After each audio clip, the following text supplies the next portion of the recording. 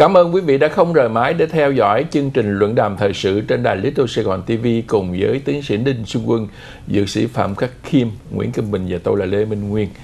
À, trước khi đi vào vấn đề thì cũng nhắc quý vị là mời quý vị quý vị tham dự lễ dỗ của giáo sư Nguyễn Ngọc Quy vào chủ nhật 28 tây tháng Giêng tại hội trường thành phố Westminster. À, xin lỗi 28 tây tháng 7, tháng 7. À, tức là à, khoảng 10 ngày nữa tại hội trường thành phố Westminster 8200 Westminster Boulevard, từ 1 giờ 30 ờ, chiều tới 4 giờ 30 chiều ờ, để tưởng niệm một nhà tranh đấu. Và nhân cơ hội này, chúng tôi sẽ tặng quý vị mỗi người một quyển sách về sự suy tàn và sụp đổ của Liên Xô ờ, có tên là Thời đại mê sản. Kính mời quý vị đến tham dự. Trở lại cái vấn đề của Hoa Kỳ thì chúng ta nói một chút xíu về cái vấn đề bốn cái vị dân biểu và bên phía tổng thống. Rồi sau đó chúng ta nói về chính sách mới uh, của Hoa Kỳ đối với người tị nạn ở biên giới.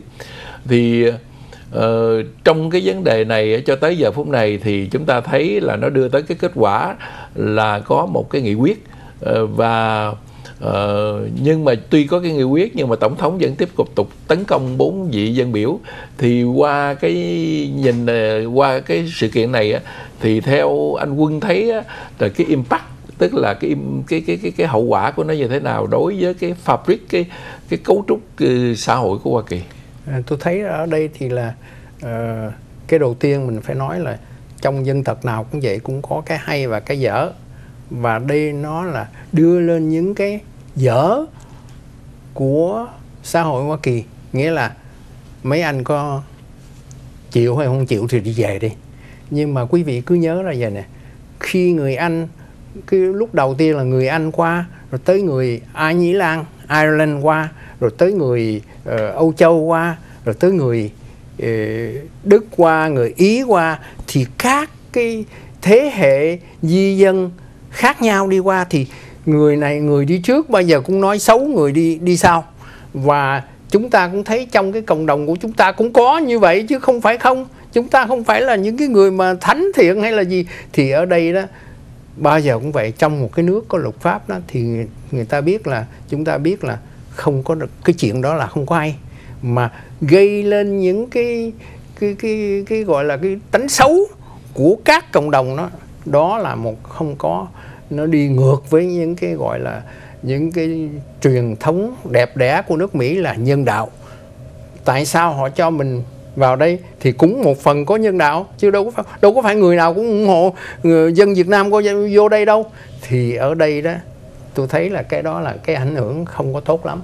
Đó là một. Cái thứ hai đó khi mình ra tranh cử đó mình phải ừ, đưa những cái issue những cái ừ, vấn đề chính chứ không phải là vấn vấn đề phụ. Thì đây đó là tôi thấy cái này là nó cũng là dưới.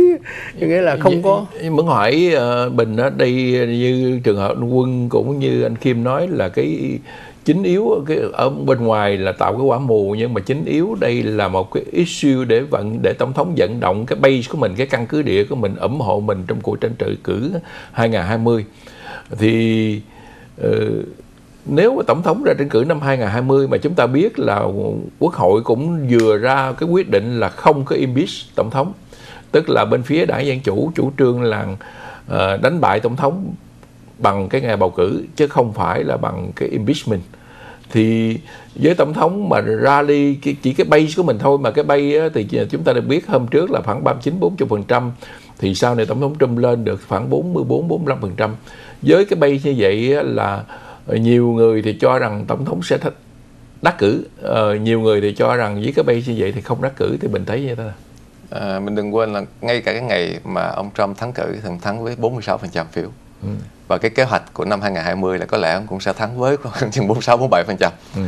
Cái quan trọng uh, vẫn là Florida, Pennsylvania, Ohio. Tức ừ. là cái base của ông Trump là những cử tri da trắng bảo thủ ở ừ. ba tiểu bang đó. Nếu ừ. mà họ turn out ra và nếu mà ông thắng được ở ba tiểu bang đó thì sẽ lặp lại được cái gọi là cái uh, cú ngoạn mục của năm 16 à. thì trong cái trong cái biến cố này vì mọi người đều biết là trong đảng dân chủ hiện giờ nó có cái cuộc tranh chấp giữa những cái khuynh cái khuynh hướng ôn hòa và ừ. khuynh hướng cấp tiến hơn ừ.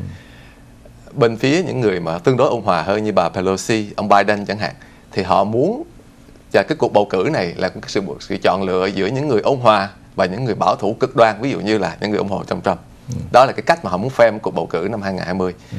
bên phía cộng hòa bên phía ông Trump thì họ muốn là cử tri sẽ chọn lựa giữa tôi và những người cấp tiến cực đoan cái khuôn mặt của cái thành phần cực đoan là ai là những người như Ocasio Cortez ừ. và ba cô dẫn biểu kia bà Pelosi và ông Biden thì họ muốn giấu những cái người đó qua một bên đừng để cho những người đó trở thành cái khuôn mặt của đảng dân chủ ừ.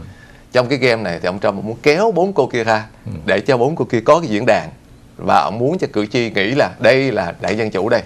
Tức là phải đấu một bên giữa cực hữu và bên cực tả. Mà mà cực tả ở đây đó thì họ dùng cái chữ đó. Tại vì cái cái cô, cô Cortez đó Ocasio Cortez nói là tôi ủng hộ gọi là socialist nghĩa là ủng hộ nghĩa là xã hội. Nhưng mà đây thì họ nói xã hội cũng như ông Graham nói là cộng sản. Đó nếu mà họ không nói là xã hội đó bây giờ nên nói cộng sản cộng đồng Việt Nam sẽ ủng hộ tại vì họ sẽ chống tại vì mình chạy cộng sản bây giờ, mà bây giờ, thành nhưng mà cái chuyện đó không có đó trúng. là cái mà họ muốn đó. cho cử tri hiểu cái đó cử tri da trắng ở ừ. Florida ở Pennsylvania và Ohio nhìn vô bằng nhìn vô cái đây là những khuôn mặt của đảng dân chủ và có cái sợ Ừ. nhưng mà cái vấn đề xã hội ở đây á, nhiều người rất là hiểu cái xã hội Lâm. theo cái nghĩa hơi méo mó tức là xã hội tức là cộng sản hay là gần với cộng sản nhưng mà cái cái cái khuynh hướng xã hội của Hoa Kỳ á là cái khuynh hướng muốn bảo vệ ờ, cái sức khỏe bảo, bảo vệ sức khỏe bảo vệ phụ nữ dục. trẻ em người lao động. Chứ không phải là cái khuynh hướng gọi là cộng sản mà là đó là khống chế tất cả toàn diện mọi mặt của xã hội. Trong khi đó đó bên người ta nói bên phía cộng hòa cũng là xã hội chủ nghĩa nhưng mà xã hội chủ nghĩa cho những cái đại công ty ví dụ như farmer bỏ ra mấy chục tỷ để mà cho không để mà phai năng hay là những cái đại công ty quá lớn không cho sụp đổ tung tiền vô để cho nó sống thì, thì cái đó này đó xã hội chủ nghĩa. thì đúng nhưng mà ở đây đó thì là họ kéo cái ý xấu của, của xã hội chủ nghĩa vào thời McCarthy nghĩa là thời 50 60 thì lúc đó là chống cộng kinh khủng lắm. Và họ nói là xã hội ở đây là equal như là cộng sản họ muốn cho các cử tri cũng như bình bình là, là, là phân tích cũng khá khá khá rõ về cái đó thì họ muốn là bốn cái bà này mà bốn bài này mới ra hồi 2018 chứ có gì đâu. Nhưng mà muốn tôi muốn hỏi anh anh Kim chỗ này. Có dư luận nói rằng ở ngoài dư luận nói rằng khi mà anh ở bên cực hữu làm công chuyện gọi là vũ trang để làm qua mặt luật pháp ở nhiều, rất nhiều cái địa phương ví dụ ở Waco hay nhìn tới nhiều chỗ khác thì thì không nói là khủng bố mà nói là militia à. tức là lực lượng dân quân à. ờ, còn trong bên bên phía mà tả đó mà làm như vậy thì nói là khủng bố thì nó nó có một cái sự bất công giữa những người gọi là bên tả mà làm những cái gì có tính cách bạo lực và những người bên hữu làm những vấn đề có tính cách bạo lực thì anh nghĩ sao cái điều quan trọng ấy, là nếu mình biết vận dụng cử tri mà mình, nếu mình biết dùng sử dụng cái truyền thông để mà mình đạt được cái mục đích ấy, thì đó là cái kết quả cuối cùng của của của, của, của vấn đề chính trị. Cho nên chúng ta nhìn thấy điều này tại sao mà ông Trump hay là những người của cộng hòa không lợi dụng cái việc bốn cô đó có những cái nói mà không có suy nghĩ? Chẳng hạn như là những câu đó ủng hộ Venezuela là cái nước của bây giờ nó đang theo xã hội chủ nghĩa mà bị bị bị suy sụp. Những người đó vẫn ủng hộ nói ủng hộ những cái người những cái quốc gia những cái tên gọi là như là Palestine. Khi mà Palestine từ trước này người ta biết là vẫn khủng bố. Vì vậy nhưng mà order dụng... cái đó có cái tôi chưa thấy order record chưa thấy. có. có Palestine thì có nhưng mà ra... nếu mà nếu mà anh anh anh tôi tôi xin lỗi anh ờ, anh, anh Kim cái. Họ nói là Palestine là khủng bố thì đừng có quên Israel là cái nước khủng bố đầu tiên. Nhưng mà mà dùng và họ dùng cái đó để họ chiếm Palestine. Tôi, dạ, mà, phải mà, nói mà, đi nói anh nhờ, tôi, tôi nói này, này. Thực ra nếu mình nhìn vào đó thì mình nói rằng do thái là khủng bố nhưng ừ. mà mình phải thấy điều này này. Bây giờ mình nói thẳng ra đấy là do thái giống như là nếu mà mình nói dùng chữ gọi là giống như cái tên giữ cửa cho cho dân cho tư bản cái khu vực bỏ dầu đó. Thành ra đối với người mỹ mà đối với cả mình khi mình sống ở nước mỹ rồi đó, mình thấy rằng do thái là cần thiết cho nước mỹ. Bây giờ không thể nói là do thái là khủng bố được. Nếu nói do thái khủng bố, tất nhiên là đẩy do thái vào cái phía để mà do thái tan rã, thì lúc đó đó nước mỹ sẽ gặp khó khăn. Cho nên ngấm ngầm mình vẫn công nhận là do thái là sự cần thiết. Và khi do thái cần thiết mà mình đã đối xuống mỹ dư sư mỹ đó, thì mình phải thấy rằng cái nước nào mà cần thiết cho Hoa Kỳ thì mình phải ủng hộ. Nhưng Thế mà thôi. nếu mà khi mà mấy người kia nói về Do Thái à nói về Palestine đó là khi họ nói là người Palestine cũng có quyền như người Do Thái có một nước.